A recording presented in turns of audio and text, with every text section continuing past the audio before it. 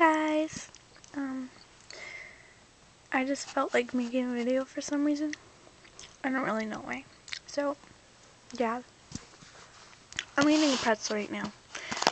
And I haven't even started eating it, but it already looks like this because I had to rip it off of another pretzel. They're like all frozen together. Yeah. And I'm drinking coffee.